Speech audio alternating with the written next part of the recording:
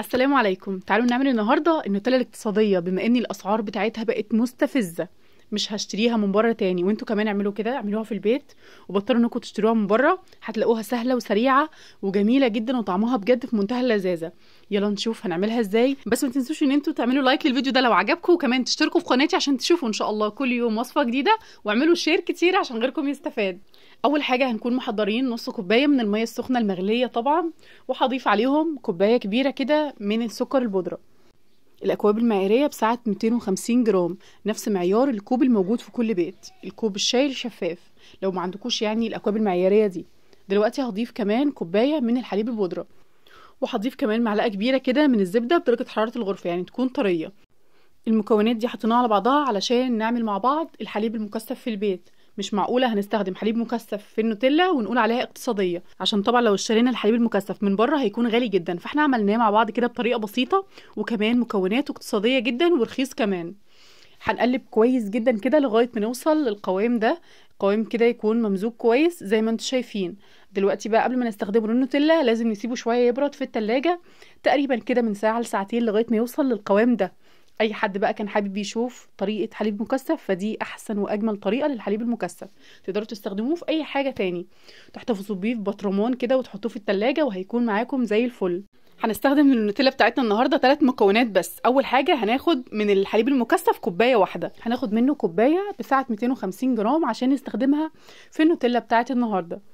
النهارده يعتبر في وصفتين في الفيديو وصفة حليب مكثف ووصفة نوتيلا. الوصفتين أجمل من بعض فجربوهم. هنا بقى بعد ما خدت كوباية من الحليب المكثف هضيف كمان ربع كوباية من الزيت. استخدمت برضو الأكواب المعيارية دي. ودلوقتي هضيف نص كوباية من الكاكاو يعني تقريبا معلقتين كبار كده مليانين هرميين عشان يبقوا معانا نص كوباية من الكاكاو. وهنزل بيهم كده على باقي المكونات. الكاكاو اللي أنا استخدمته كاكاو خام غير محلى.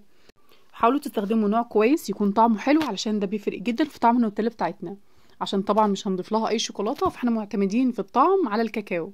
أنا مستخدمة النوع الإسباني. ده بالنسبة لي أفضل نوع للكاكاو. دلوقتي بقى قلبتهم كويس جدا كده بالمضرب وهنزلهم في الكبة أو ممكن كمان تنزلوهم في الخلاط وتضربوهم شوية كده لغاية ما يبقى قوامهم كريمي. محتاجين إن هي تبقى مليانة هواء عشان تبقى كريمية وطعمها حلو في الآخر. وكمان بيديها تقل يعني كل ما بنضربها أكتر كل ما بتتقل أكتر. شايفين كده طبعا قبل ما تدخل التلاجة بيكون قوامها بالشكل ده. هوريهولكوا أكتر وأنا بصبه كده في البولة. شايفين القوام؟ قوامها حلو قوي وكمان الزيت اللي إحنا استخدمناه اداها لمعة حلوة ولونها فاتح كده علشان الكاكاو اللي أنا مستخدماه مش غامق قوي.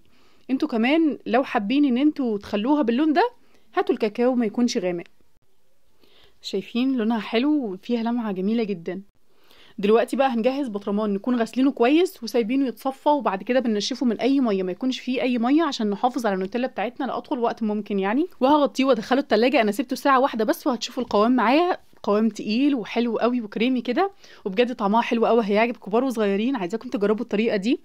وبس كده عايزة أقول لكم بقى في آخر الفيديو إن الدعم الحقيقي للقناة إنكم تعملوا اشتراك وتعملوا like للفيديو. وكمان تعملوا share كتير عشان غيركم يستفاد. شايفين الحكاية بسيطة إزاي؟ فيلا بقى اعملوا كده. وأنا معاكم في التعليقات لو حابين تكتبوا لي وصفات نعملها مع بعض الأسبوع ده فيا ريت أنا معاكم هرد على كل التعليقات. واستنوا ان شاء الله الوصفة الجاية بكرة ودمتم في حفظ الله ورعايته ومع السلامة.